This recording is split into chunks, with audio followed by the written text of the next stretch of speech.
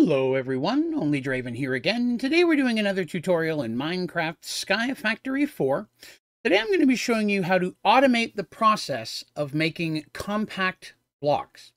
So compact wall blocks are needed to make compact machines, which are great items to use in Sky Factory, um, and automating that process can really speed up their production. If you find this video helpful and you like it, please be sure to click like but most importantly, please remember to hit that subscribe button and the little bell notification. That way you get notified anytime a tutorial or video comes out. All right. You need a bunch of stuff for this one. Uh, we're going to start with, we need some GPS. We need two of those. That's a stick, a paper, and a light blue dye. We need an item collector, which is three hoppers, two droppers, a lapis block, and three iron ingots. We'll need two structure builders. That's three obsidian, two observers, magma block, two redstone blocks, and a dispenser. You need to make a personal shrinking device, iron ingot, two ender pearl, a book, and a glass pane. You're going to use that and combine it with two diamond, redstone torch, and an eye of ender to make four miniaturization field projectors. You're going to need an auto clicker, which is seven diorite, redstone block, and a dispenser. And you're going to need one actual dispenser. Seven cobblestone, a string, and a piece of redstone. Now, a couple things we'll be using in this tutorial. First of all will be, of course, the ability to make compact machines. If you're unfamiliar with how to make a compact machine itself, I will link a tutorial showing how to do that down in the description of this tutorial. I'd recommend watching that one first. I'm also going to link a tutorial showing how to use the um, structure builder. You'll need to know that as well.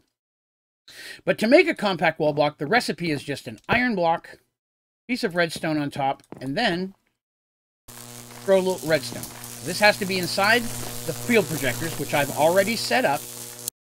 And that gives you your compact wall block. It's 16 of them. So you need a lot of these, especially if you're making the maximum size compact machines. So let's automate how to make that happen. Again, these are already pre-placed. If you're not sure where to put them, that tutorial is linked below. Right off the bat, let's start with the basic stuff. We're going to need all of this. That's there's our item collector, structure builders, dispensers, auto clickers. We're also going to need tables, some chests, and the last thing we're going to need is a power source. Now for this tutorial, I'm just using a creative battery. You can use any RF source you like, uh, generators, solar, anything that works for you. Okay, I'm gonna put the creative source there. Now the next thing I'm gonna do is put an energy extraction cable on it, that up to full, there. I'm gonna run some energy over here, right there. Okay, more. You can't bring it all the way to the edge of the orange field. If you do, the field disappears. It has to be at least one block away. So on top of that, we're going to put a dispenser. Behind that, we're going to put our clicker. Ooh, oh. We post it in the right direction. There we go. Our clicker. Now we're going to put a button on the back of this dispenser. Okay. Grab one of those. Do. All right. Button. So this auto clicker, we could choose how often we want it to click from one click every one tick, one click every two ticks, so on and so forth. I'm going to go ahead and put it on, put it on number five for now. As you can see, it's pressing that button. Right? Okay. Oh, it doesn't have anything yet. That's okay. Now, got that done. Next, we're going to take our structure builders, and we're going to put one of those down. A little space there. Okay. Now, these structure builders are what's going to place our iron block and our redstone. For that, it just needs a 1-1 space. See? It just puts it one single block. Next thing we're going to do is we're going to grab ourselves any type of just building block. Place one here, here, and one there. I'm going to take some chests. There, there, and there. Break those. Then we can put our item extraction cables underneath. Bring those up to maximums. 464 and 64. And that is a large part of what we're looking to do here. Now, the dispenser itself doesn't need power. I just put that there so that we had a, I had a way to place that down. But the power needs to go to the auto clicker. This doesn't actually need power. It was just to get it on the same level. Last thing we're going to place down is our item collector. We're going to set it over here, again, leaving a space. Turn that up to maximum size. And that is going to pick up anything dropped in that area. Okay. okay. So that's the majority of what we're looking to build here all of these things here. Now we have to go ahead and automate it. Make a little space. Grab our GPS. So we're going to link the GPS to a block. Set that there, one of them. We're going to sync our GPS to that stone block. I'm going to take it over here. I'm going to set it inside our structure builder. You'll see now it's building it right here. This stone is taking the place of where the structure builder is, and it would build it right there. Put another one on top, sync to that. This one's the one we're going to set in here. So now, our iron, our redstone, would be placed in that location. We can get rid of the stone blocks. They're wirelessly building them inside. These are set to required redstone, so they're not going to do anything yet grab ourselves some material, grab ourselves iron blocks, redstone, redstone. Go ahead and put iron in there, which would feed down into the machine, so you can fill that all the way up with iron. This one, we're going to do the same thing with redstone. Okay. Now, I'm going to go ahead and turn these ones on. You see, the first one is put down our block of iron. Second one, placed our redstone on top of it. All we need now is redstone to be tossed inside. That's what we're going to use our dispenser for. Go in here, throw our redstone in, and when it clicked it, it threw it out. See how it's turning into a block up there? And it's immediately preparing to build the next one. It is now going to continuously build the stone blocks, or the compact wall blocks. And then they're being picked up by our item collector, which can then be fed into any storage system that we like. Now, if you're throwing the redstone in too quickly, you'll have extra. The item collector will pick up those as well. Uh, if you find that you're dropping too many too fast, you can go in and slow down the uh, auto clicker. Sometimes it's spitting out redstone faster than this is completing its process. So all you need then is to have redstone coming into this chest, or iron coming into this chest, redstone into this one, and redstone into that one, and it will continuously make these blocks for you. Now, I'm going to quickly switch over to where I've set this whole process up inside of a compact machine um, on my survival world. So I'm going to pop over there real quick and show you how I fully automated providing iron and redstone to those as well. We'll check that out. Okay, so here we are inside of my survival world, inside of a compact machine, a maximum size machine. As you can see, I have the same process set up that we saw a moment ago, with a couple minor differences. Over here, you'll see I have a trash void and a black hole unit.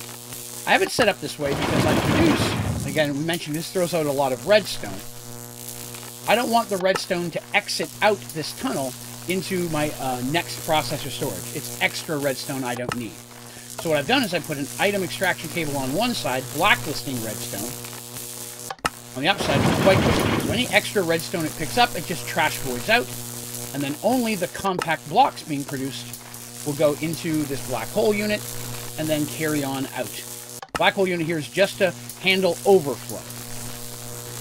So this process is the same. I'm powering it in this situation with a geothermal generator, an infinite lava loop. The big difference you're going to notice is this right here. You'll see that I have another compact machine, a maximum size one, no chest. All the items that are feeding this system are inside of that one compact machine. This one's getting iron from the machine. This one's getting redstone from the machine. And then, of course, our dispenser's also getting redstone. Redstone, and that's our iron blocks. So let's look inside this compact machine. If you look inside, you'll see that I have a triple layer farm.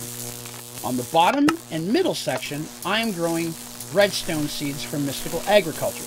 The essences are being auto-crafted into redstone, and one layer is feeding into my uh, dispenser, and the other one is feeding my structure builder so that they both have redstone.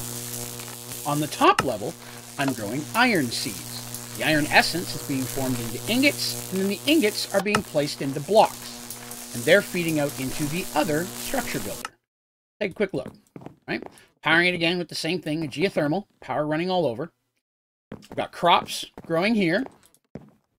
Harvester picks them up. Moves. It, it also get it. The, sometimes it picks up this pink stuff, this pink fertilized essence. I don't like it. It's useless. so I just have it going into a trash void. But then the essence goes into the chest through an auto crafter, which turns it into redstone, and then feeds out into uh, the dispenser. Lex Level Up does the exact same thing, but it's going into one of the structure builders. Exact same process. Then at the top, the exact same process, with the exception of it being iron essence, it's turned into iron ingots, and then it's being turned into iron blocks. Now, as you can see, it's producing a lot of iron. So it's producing more iron than uh, it really, really can use. So a lot of it's just kind of building up there. Uh, but once I leave this, it'll uh, it'll it'll go on faster. So uh, harvester there as well. So I've done this type of build many times in a lot of different tutorials. How to automate mystical agriculture. Again, that tutorial can be found on my page or link below. Uh, but I like to do this inside of a compact machine. Inside of a compact machine. So that is feeding all three of these machines. All of my materials are coming out of this, which is an infinite source. So I'll never run out of iron or redstone. I never have to make it again. I don't have to fill anything. This is literally just going to sit and make compact machine blocks forever. Get back into the tutorial. And here we are back in our tutorial world. So, as you can see, the system is still running, making compact machine walls, which it will do until it runs out of materials. Now, you don't have to use a compact machine for your farms or your supplies. You could build just a farm right out here behind and run your redstone and iron into these chests directly. Um, I just like to use the compact machine because it saves space and it does help cut down on lag since that's less visuals out here in the regular world that your game has to load. But no matter how you get your uh, materials in here, as long as they have a steady flow, you will have a steady build of compact machine walls. All right. Uh, well, that's going to do it for this tutorial. Uh, if you have any questions about this tutorial or any of my tutorials, uh, please be sure to put those down in the comments and I'll do my very best to get back with you as soon as I'm able to, as well as any recommendations or suggestions for other tutorials you'd like to see in Sky Factory 4. I'm always looking for new ideas. You can also go to my website, onlydraven.com, and there at the bottom of the homepage is another place you could submit questions or feedback or recommendations via email while you're there, you'll also find links to all my tutorials and videos, my streaming schedule, PC specs, uh, links to my social media accounts, and of course, as well as the ODG store for some cool Only Draven gaming merchandise. I do recommend checking out the website. A lot of great stuff there. That is going to do us for today. Thank you very much for watching. Have a great day.